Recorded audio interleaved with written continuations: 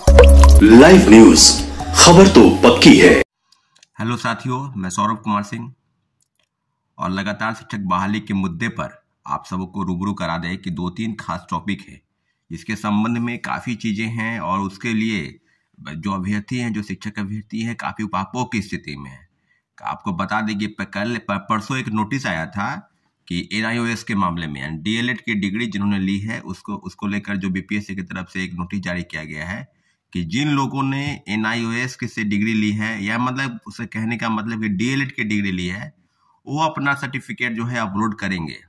तो निश्चित रूप से सेकेंड फ़ेज़ की बहाली को लेकर जो डीएलएड की डिग्री की मान्यता है, जैसे कि सबको पता है कि सुप्रीम कोर्ट के गाइडलाइन के बाद सबको पता हो गया कि सुप्रीम कोर्ट ने एक बताया कि डीएलएड की डिग्री जो है अठारह महीने का, वो वैलिड नहीं है, इसके लिए आपको दो साल की रेगुलर डिग्री चाहिए। तो अब सबको पता हो गया कि इस तरह की चीज़ें अगर होंगी, अगर बीपीएससी ने इस तरह की चीज़ें की है कि डीलेट को लेकर उसके मन में जो सवाल है, क्योंकि सुप्रीम कोर्ट के गाइडलाइन से न कोई व्यक्ति, न संस्था, न कोई आयोग, न कोई संगठन, न कुछ, न कोई मंच आदि कोई भी उसके बातों का अवहेलना नहीं कर सकता है।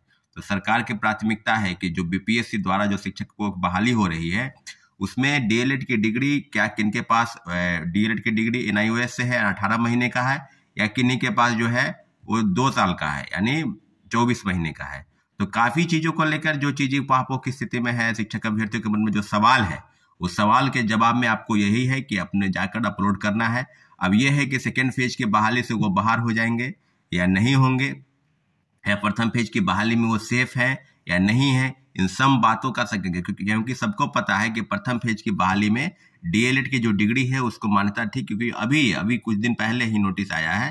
तो मुझे लगता है कि सेकेंड फ़ेज़ की बहाली से उनको कहीं ना कहीं बाहर कर दिया जाएगा। परंतु सरकार के तरफ़ से भी अगर कुछ अपडेट है, सरकार के तरफ़ से कोई संभावना अगर बनती है तो निश्चित रूप से बिहार सरकार को इस मामले में पहल करनी चाहिए। और निश्चित रूप से लगभग जितने भी डीएलएड अभ्यर्थी हैं, जिन्होंने कोर्स कराया है, लगभग जो अठारह महीने का कोर्स है और एक एक कह दिया जाए कि आपकी अब डिग्री वैलिड नहीं है तो आप समझ सकते हैं कि सुप्रीम कोर्ट ने एक और फैसला किया था बीएड मामले में।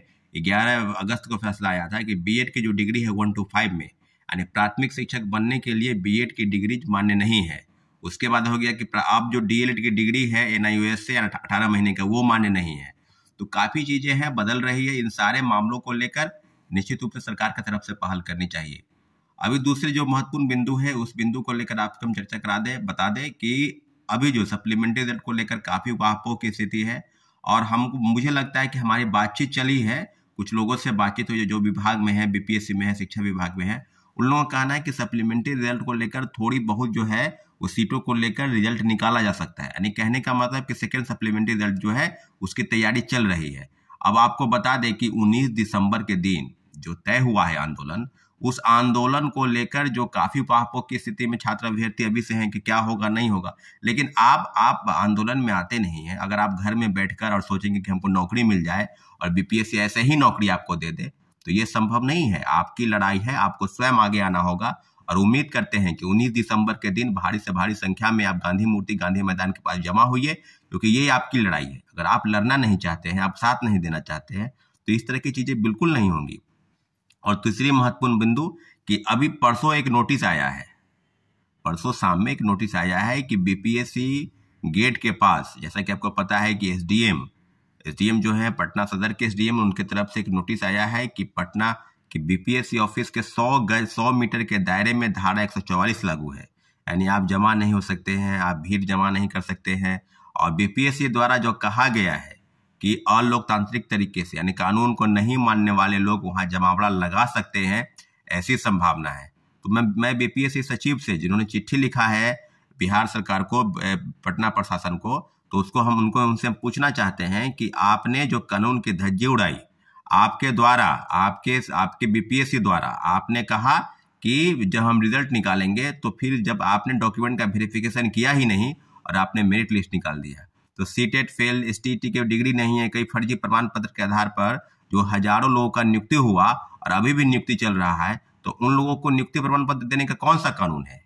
दस हज़ार लोग अभी तक डॉक्यूमेंट का वेरिफिकेशन नहीं कराए तो वो क्या वेटिंग लिस्ट का प्रावधान है उस पर, या सप्लीमेंट्री का रिज़ल्ट का प्रावधान है? तो सारी चीज़ें तो कानून का उल्लंघन तो बीपीएससी और शिक्षा विभाग कर रही है।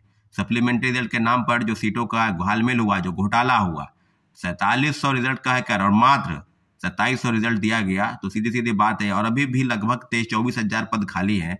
और काफ़ी चीज़ें हैं जिसको लेकर आपके मन में सवाल है, छात्र अभ्यर्थियों के जवाब आप देना नहीं चाहते हैं। और उल्टे कह रहे हैं कि बीपीएससी के पास आप आ नहीं सकते क्योंकि अब सेकेंड फ़ेज़ की बहाली पर जो परीक्षाएँ सात दिसंबर से और पंद्रह दिसंबर तक चली, और उसके बाद कॉपी जाँच, यानी कहने के मतलब सोलह दिसंबर से लेकर पंद्रह जनवरी तक धारा एक सौ चौवालीस लागू है बीपीएससी गेट के पास।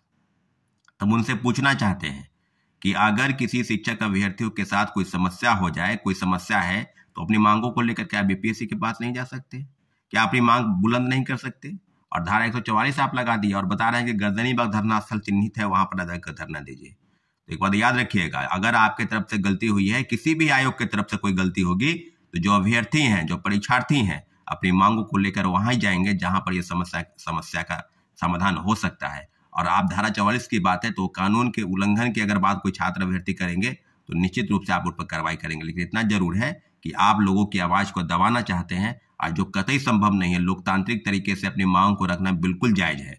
और जितने भी शिक्षक अभ्यर्थी हैं, सबसे हम अनुग्रह करते हैं, आग्रह करते हैं कि उन्नीस दिसंबर के दिन, भारी से भारी संख्या में, अगर आप सोचते हैं कि सौ, दो सौ की संख्या में जाएँगे तो संभव नहीं है। दस बजे गांधी मूर्ति गांधी मैदान के पास जमा हुई है और निश्चित रूप से अपनी बातों को हम बुलंद करेंगे। साथियों, जय हिंद, धन्यवाद। लाइव न्यूज़ खबर तो पक्की है।